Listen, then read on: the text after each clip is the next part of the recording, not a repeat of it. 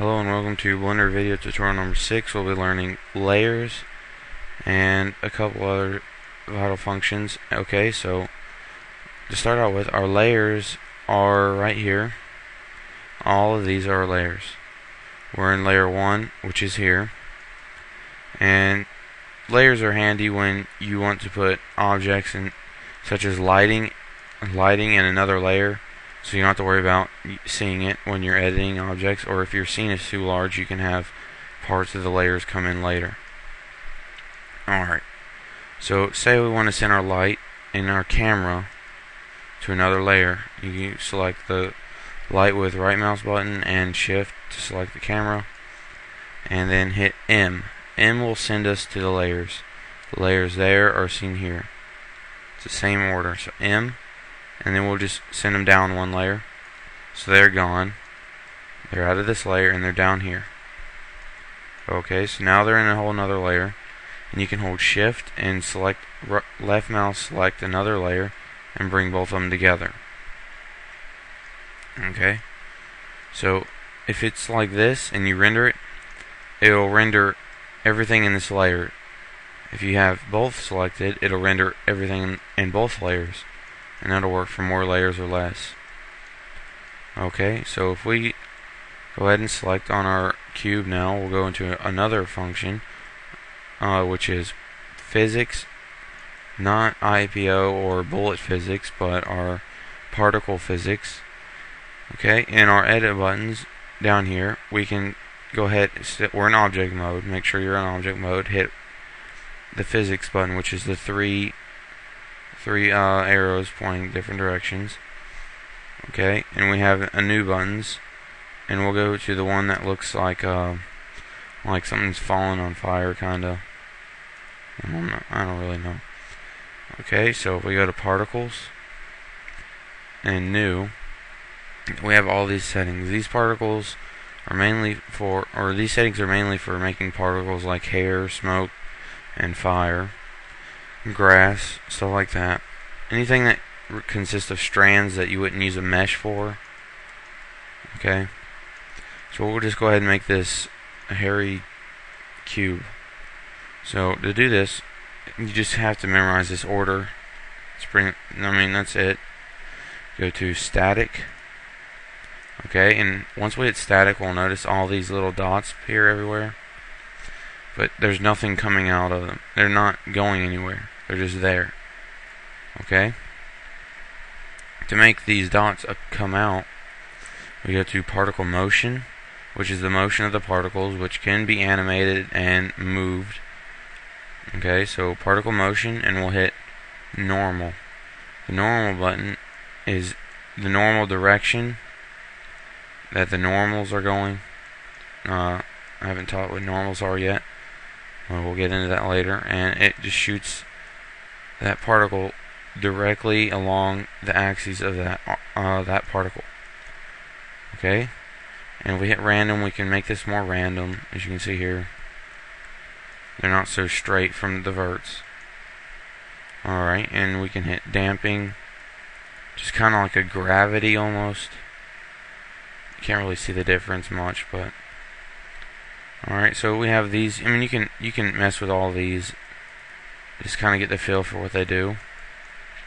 Okay, so now say we want these to be falling down like like it's real heavy or it's been growing this way or it's blowing in the wind.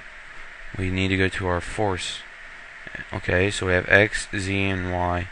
A good way to determine which way you want to go is by this. This is what I was saying. Okay, so the X is red, and the red is here on this arrow, so it would be going this way. So if we come down here and hit add some motion to the X axis, we'll notice that the particles are now going this direction. And same for the the blue is the Z. And then you can come here and hit Z, add some, or subtract to go down. Just kind of get a feel for which direction they go negative down, plus up. And we render this, you'll see our particles.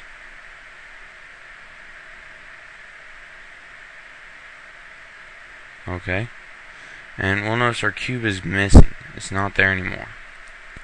What we need to do for this is go to our particles tab again and hit mesh. This will show our mesh in, mesh in the render. So without it, it shows nothing. It does not show the mesh. It just shows the particles, and then with mesh selected, it'll show the cube. So there's the cube with the particles. I know this is a lot, but just try to understand it. Maybe explore it a little more. Alright. So we can obviously add color to these particles. Just changing the color of the cube will change the color of the particles because that's what it is. That's pretty what that's what it is. The color just doesn't show it. All right. Now, say we want these particles to uh kind of look like a smokish fire type of thing. I guess. Uh, I'm not gonna do. Uh, so now if we go to the halo button with the cube selected, okay.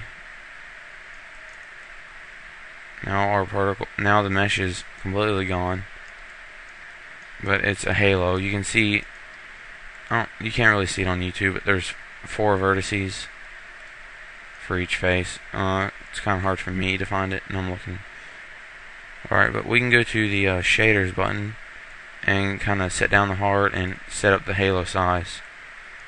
Okay. Now if we look at it when we render it with the halo settings for particles, it'll have a whole other effect.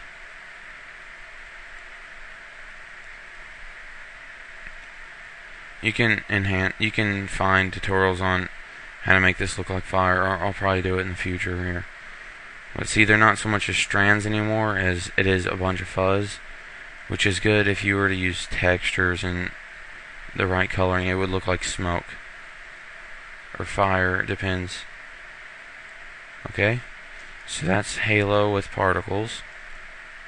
And we can also use the Z-invert for this too.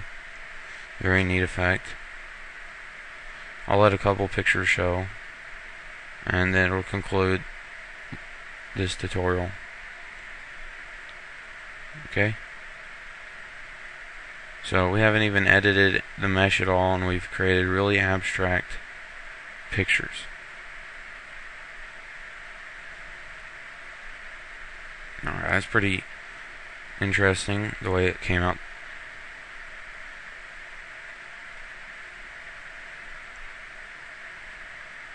Alright, there it is. Uh, this concludes Blender video tutorials number 6. Ah, goodbye.